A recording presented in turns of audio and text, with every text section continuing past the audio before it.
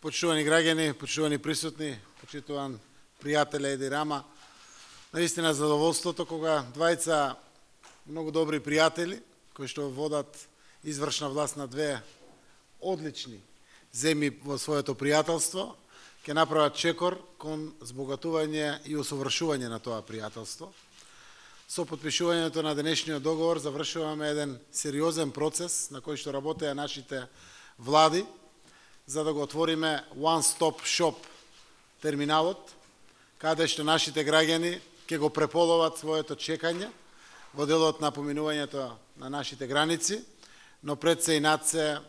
ќе ги создаде четирите европски слободи за слободно слободен проток на стока, на луѓе, на капитал, на услуги. Целта на овој One Stop Shop е колку што може побрзо да стане No Stop Just Go Тоа ни е целта, заради тоа што нашите граѓани тоа го заслужуваат. Јас верувам дека колку повеќе ги усовршиме административните капацитети и ја пренесеме довербата комплетно на институциите едни помеѓу други, како што впрочем и тоа постои,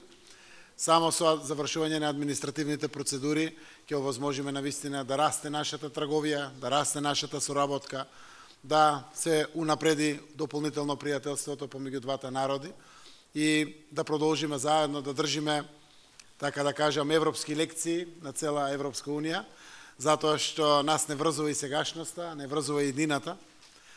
Двете земји сме членки на НАТО, партнери, меѓусебно се помагаме. Двете земји сме исправени пред предизвикот на следниот чекор на нашите процеси кон европските интеграции.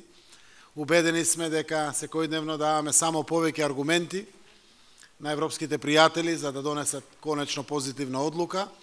но ние сме решени, друг пат за нас нема, тоа е патот кон Европската Унија,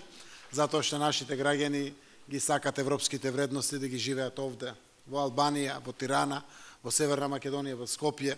И ќе продолжиме на тој начин да работиме, се со конечна цел, да оствариме колку што може поголема благосостојба, поголем економски просперитет и поголема среќа